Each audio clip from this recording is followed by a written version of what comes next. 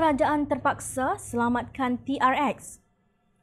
Projek Tun Razak Exchange TRX akan disiapkan meskipun kerajaan terpaksa menyuntik pembiayaan tambahan sebanyak 2.8 bilion ringgit.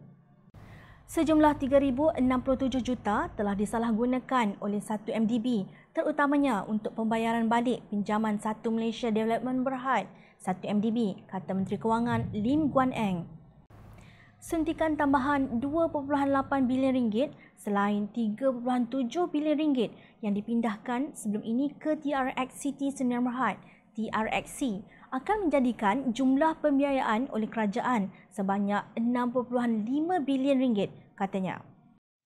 Suntikan tambahan 2.8 bilion ringgit akan meningkatkan jumlah besar peruntukan kerajaan persekutuan kepada TRXC kepada 6.5 bilion ringgit. Guan Eng juga mendedahkan disebabkan oleh penyelewengan, TRXC tidak mempunyai dana yang mencukupi untuk kerja-kerja prasarana bagi menyiapkan projek tersebut dan telah meminta bantuan kewangan daripada kerajaan. Peminahan tersebut dibuat kerana TRXC menghadapi masalah menjalankan urus niaga hartanah dan mengalami kesukaran mendapatkan pembiayaan bank disebabkan oleh hubung kait syarikat itu dengan 1MDB. Untuk pengetahuan umum, TRXC adalah pemilik dan pemaju induk dua projek hartanah yang sebelum ini diletakkan di bawah kawalan YNDB. Dua projek tersebut merangkumi Tun Razak Exchange seluas 70 ekar dan Bandar Malaysia seluas 486 ekar. Semenjak tahun 2012, Kerajaan Persekutuan telah memperuntukkan 3,688 juta ringgit melalui jaminan pinjaman memberi pemberian pendahuluan pendahuluan pemindahan dana dan pembelian tanah daripada TRXC.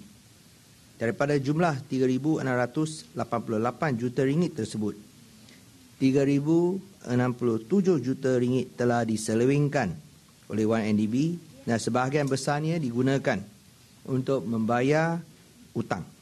Utang 1NDB. Ini telah mengakibatkan TRXC kekurangan dana untuk memenuhi tanggungjawabnya sebagai pemaju induk kepada TRX. Alternatif untuk tidak menyediakan pembiayaan 2.8 bilion ringgit dan tidak menyiapkan projek itu, kerajaan terpaksa membayar pampasan 3.51 bilion ringgit serta Kuala Lumpur akan dibelenggu dengan satu projek mega terbengkalai yang besar. Katanya pada sidang media di Putrajaya lapor bernama 21 Jun 2018. Menurutnya lagi, selain terpaksa membayar pampasan tersebut, kerajaan juga akan kehilangan 3.7 bilion ringgit sebagai kos lepas yang diperuntukkan kepada TRXC sebelum ini. Tanpa dana 2.8 bilion ringgit, TRXC akan terpaksa menghentikan projek tersebut manakala kerajaan persekutuan akan terpaksa menanggung bayaran pampasan sebanyak 3.51 bilion ringgit kepada beberapa pihak. Selain daripada kehilangan 3.7 bilion ringgit sebagai kos lesap atau sunk cost yang diperuntukkan kepada TRXC sebelum ini. Tambahan lagi, Bandaraya Kuala Lumpur akan dibelenggu dengan satu projek mega terbengkalai yang besar.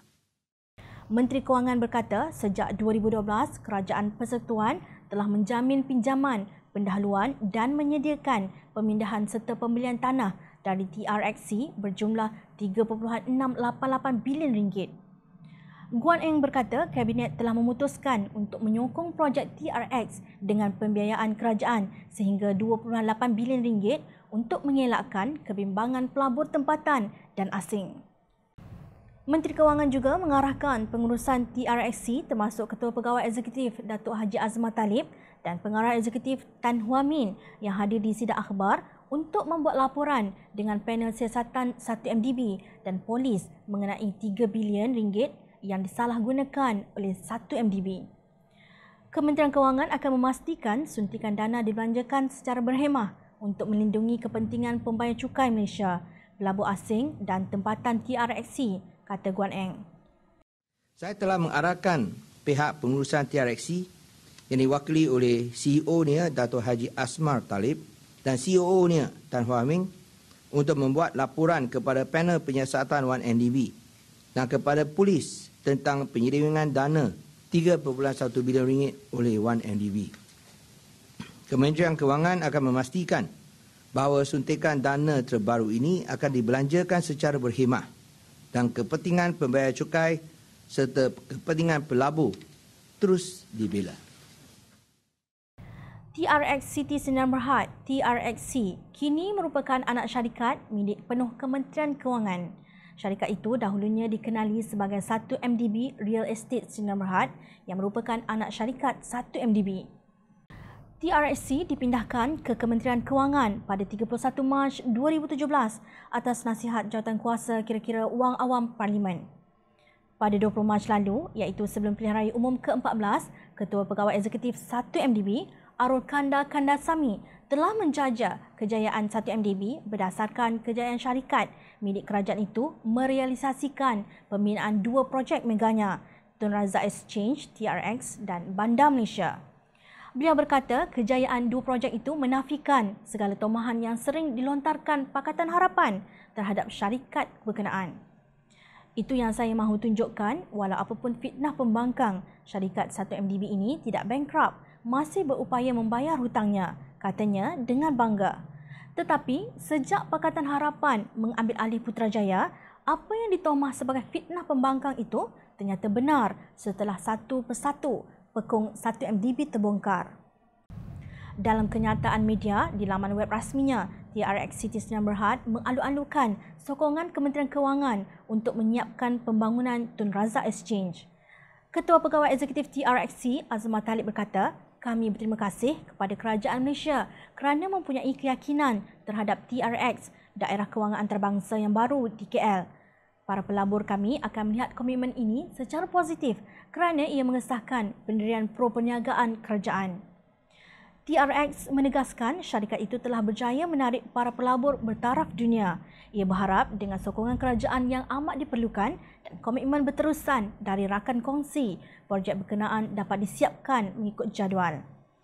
TRX juga akan membuat laporan polis mengenai dana yang diambil oleh 1MDB ketika TRXC masih lagi anak syarikat tersebut.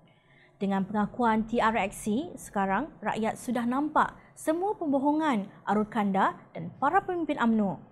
Sebagai rakyat Malaysia, kita ingin melihat Kuala Lumpur terus mengukuhkan kedudukannya sebagai pusat kewangan dan perniagaan antarabangsa terkemuka di dunia. Eh, hai! Jangan lupa klik kanan untuk rentasan berita, klik kiri untuk keratan berita. Dan jangan lupa untuk subscribe kami tahu.